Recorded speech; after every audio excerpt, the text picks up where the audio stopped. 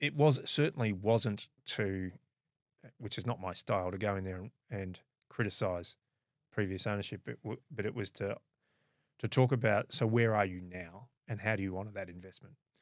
So Virgin had great people culture and a really good front frontline e- work ethic and attitude. Still does, you know, really really good at their jobs. Uh, they had invested heavily in the product, chased after Qantas, um, and gone into the corporate market, which in isolation is a, is a good thing to do. That's where all the money is made.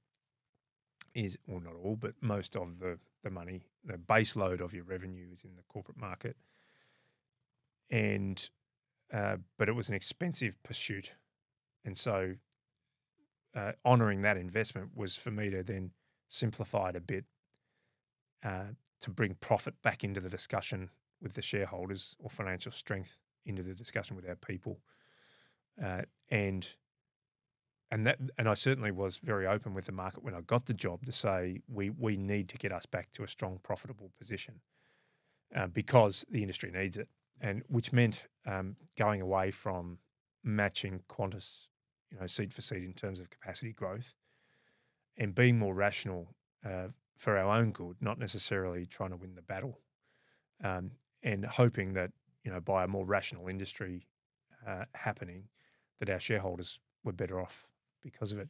So I pitched a lot of that at them um, and talked about reintroducing. So there was a, a coming together of a number of different businesses for Virgin that people forget. Acquisition of SkyWest, uh, the A330s coming in to join the 777. So it became more complex uh, than ideally you'd like. So working out of that and becoming a little bit more simple because standardization in an operating environment is very important because you're not replicating engineers or training and uh, or and or carrying spares for different types of aircraft.